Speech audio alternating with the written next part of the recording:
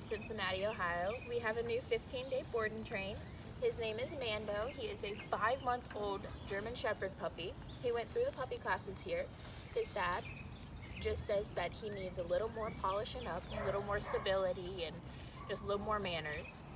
So, we are gonna see what he knows. That's a good sit, buddy. Can you walk over here? Oh, can we go this way? Oh, let's go this way. Come on. Go over here.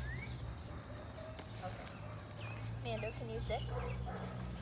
Sit. Can you sit? Oh, no, noises. How about down? Can you down? No? Down? Oh, that's a sit. Good sit. Down? No? No down? Alright, Mando, run. Mando, come. Come. Come. Come. No? Not gonna come here? Oh, maybe. Can you sit? Oh, we do sit. You're so sweet. So, we do have a sit, and we do have a little bit of a come, but he just kind of wants to wander away and mind his own business. So, check back in 15 days and see his transformation. Yay!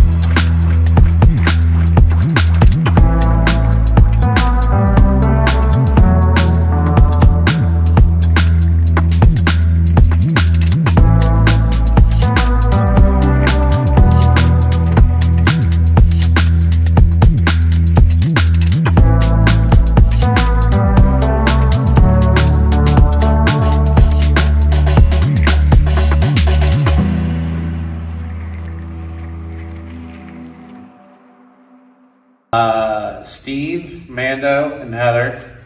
Uh, Mando just completed his 15 day training. He did pretty awesome. We're really stoked to have him. totally excited to have Quentin as our trainer and Megan. They did an excellent job.